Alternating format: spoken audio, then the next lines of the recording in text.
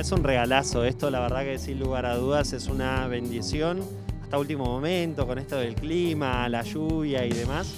Pero estar acá reunidos, poder vernos cara a cara, obviamente que cuidándonos, respetando todo lo que el Ministerio de Salud Pública pide, pero estamos bendecidos y un verdadero regalo, ¿no? Este Rosario de Bendiciones, que es un evento, se prepara a lo largo de todo el año.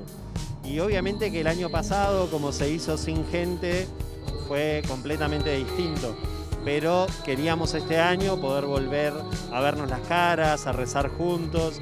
Y eso también hizo que volvamos a la preparación de antes de la pandemia para tratar también de poder estar bien programados, para poder esperar a todas las personas, para poder estar unidos y sobre todo para poder decirle al otro, mirá, qué bueno poder estar acá contigo, rezar juntos, vernos las caras y disfrutar juntos de este momento. Bueno, una enorme alegría.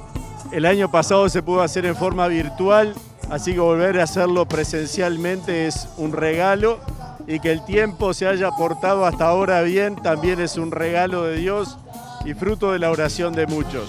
Se está cumpliendo todo el protocolo, está cercado el lugar, hay una serie de requisitos, el tapaboca, el alcohol, en fin, para tratar de que nos cuidemos entre todos.